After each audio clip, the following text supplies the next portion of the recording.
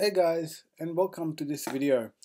Uh, in this video I want to show you how I created this cutout effect in Illustrator.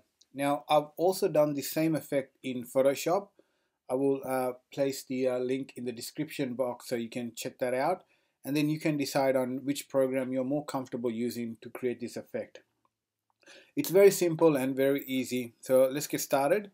I'm going to start out by writing the word cut I mean I'm using a thick font face. You can use whichever one you like.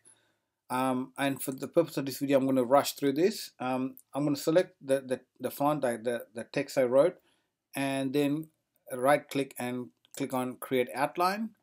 Then I'm going to hold down the shift and pull the size sides out just to make it a little bigger like that.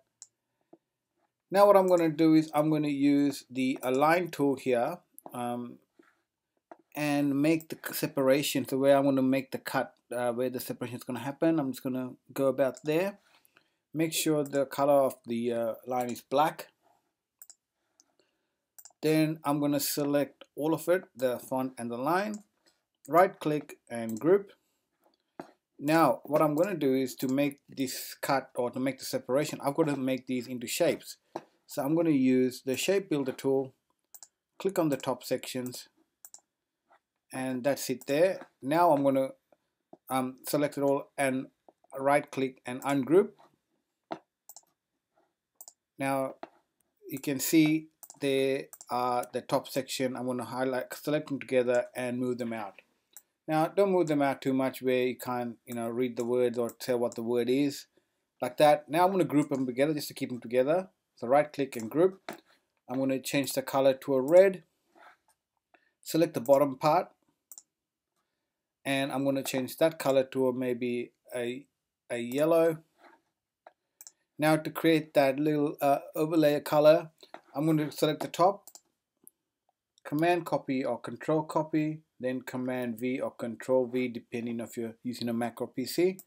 Just move it uh, anywhere you like and I'm going to change that color to a uh, green and in the transparency dialog box I'm going to change the blending mode to a darken and that's what it looks like there. Again I'm going to copy the bottom section command copy control copy then command V or control V. Move it anywhere you like on top of it. Change the color to on that to a purple and change the blending mode to a darken and you can see the darken sections there. That's it guys. I um, that's easy simple quick. I hope you got something out of that um, don't forget to comment below and tell us what your thoughts are. Also, if you like this video, give us a thumbs up. It would really help uh, in YouTube.